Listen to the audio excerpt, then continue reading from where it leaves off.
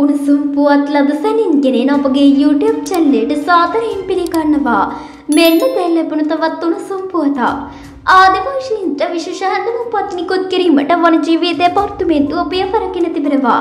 වැඩි ජනයාට වනාන්තරවලට ඇතුළු වී වනයේ සම්පත් වලින් බාධාවකින් තොරව ජීවිකාව ගෙන යාමේ පහසු කිරීම වෙනුවෙන් මේ පියවර ගෙන ඇති බවයි වාර්තා වන්නේ. වනජීවී දෙපාර්තමේන්තුවේ ජ්‍යෙෂ්ඨ නිලධාරියෙක් පවසා සිටියේ මෙම ව්‍යාපෘතයේ පළමු අධීරයටද දමාන සහ රතුගල ආදිවාසීන්ට හැඳුනුම්පත් ලැබීමට නියමිත බවයි.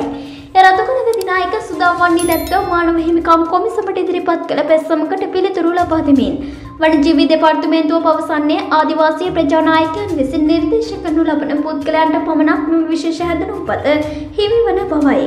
මෙවැනි උණුසුම් පුවත් ලබසනින් දැන ගැනීම සඳහා අපගේ YouTube channel සබස්ක්‍රයිබ් කර බෙල් අයිකනය ක්‍රියාත්මක කරන්න. ඔබට සුබ දවසක්.